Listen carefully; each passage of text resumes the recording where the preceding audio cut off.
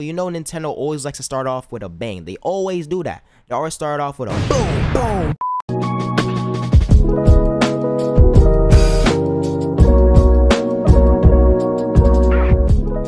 Yo ho, Basic out here back again with a brand new video guys. In today's video, we're to be doing a predictions video. Yes, I haven't did these in a very, very long time. Now, in today's video, we're to be talking about E3 2021, primarily for Nintendo. E3 is possibly the biggest thing in gaming today, and they're bringing it back. It's been over two years since the last E3. It's been over two years. So in today's video, I'm just gonna be making my predictions video and what I think is gonna go down at E3 2021 for Nintendo. What's gonna be in the Nintendo Direct, everything in this video. So these are my E3 2021 predictions for Nintendo.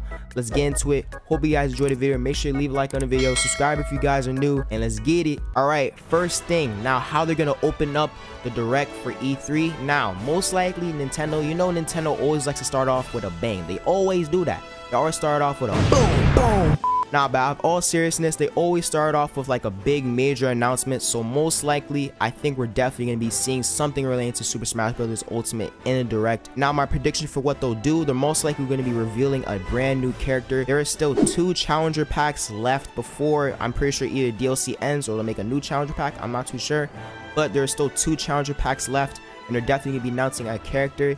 Now, the character that I do have in mind is possibly going to be Crash Bandicoot. He's a fan favorite out of everybody that wants him in Smash. Like, literally, everybody wants him in Smash. I'm pretty sure he's going to be the one that's getting revealed in the trailer. So, I'm, I'm crossing my fingers. I hope it's Crash Bandicoot. And also, one last character, which I think will be the last character being revealed now. I'm not too sure if this is going to happen in the Direct or it's going to happen later down the line because I don't think Nintendo, I mean, Nintendo in the past has revealed two characters at the same time. So possibly, maybe, I'm not too sure, but prediction for the last character is most likely ha it has to be Sora. Sora has been the fan favorite to be in the game for a very, very, very long time. So I'm thinking that that most likely would be the final fighter being revealed in Smash Brothers. Hopefully it happens. I don't know if it's gonna happen either, you know, saying later down the line or it can happen at E3 this year. But Sora will definitely be the last character being revealed. So my two picks is Crash Bandicoot and Sora as the last two fighters for Super Smash Bros. Ultimate. Now let's get right into the next point that I gotta make on my predictions. The next thing that I need to predict is some news on Legend of Zelda Breath of the Wild 2. Now we did get a little teaser relating to the game in 2019 at E3, I'm pretty sure, so we're definitely to be getting a lot more news or a lot more in-depth analysis into the game, new mechanics, all that type of stuff. I'm pretty sure we're to be getting some gameplay on it during Nintendo Treehouse, most likely, so we're definitely to be getting a lot more news on this game possible release date? Most likely we're going to be getting some information on breath of the wild 2 as it's definitely been in the air and there's been a lot of questions relating to the game so we're definitely getting some more insight on the game.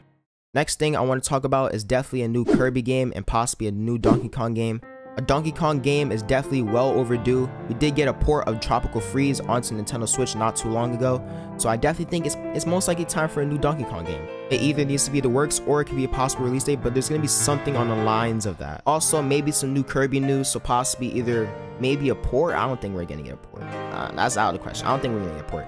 Possibly. Or we're probably to be getting a new Kirby game. One of the two, but definitely something really in the Kirby. Now, next thing, Mario, Mario, Mario. You know what I'm saying?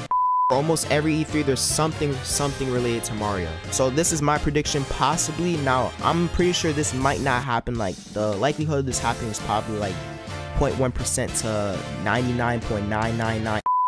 Nah, but besides the jokes, I definitely think that something relating to Mario is gonna happen.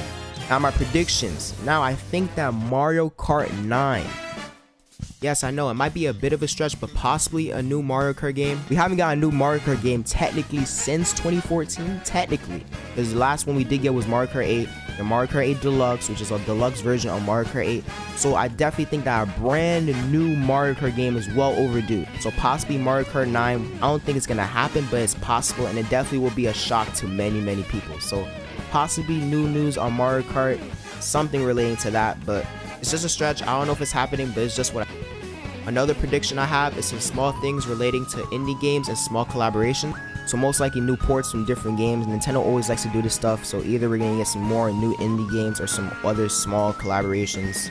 So yeah, something on the lines of that. I don't pay too much attention to, you know, anything relating to that, but definitely something around that is definitely gonna happen.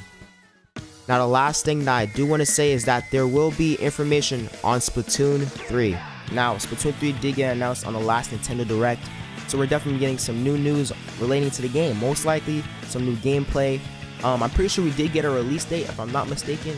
Now, did we get a release date? I'm not too sure. I'm, I'm probably going to put on the screen if there was a release date or did get confirmed. But yeah, we're definitely getting some new news relating to the game, new features. As we did get a little gameplay, somewhat gameplay trailer, we're going to be getting a lot more news relating to the game, a lot more gameplay on it. Most likely, as I said, Nintendo Treehouse is probably going to be doing a lot of stuff relating to the games, all the new games and the gameplay.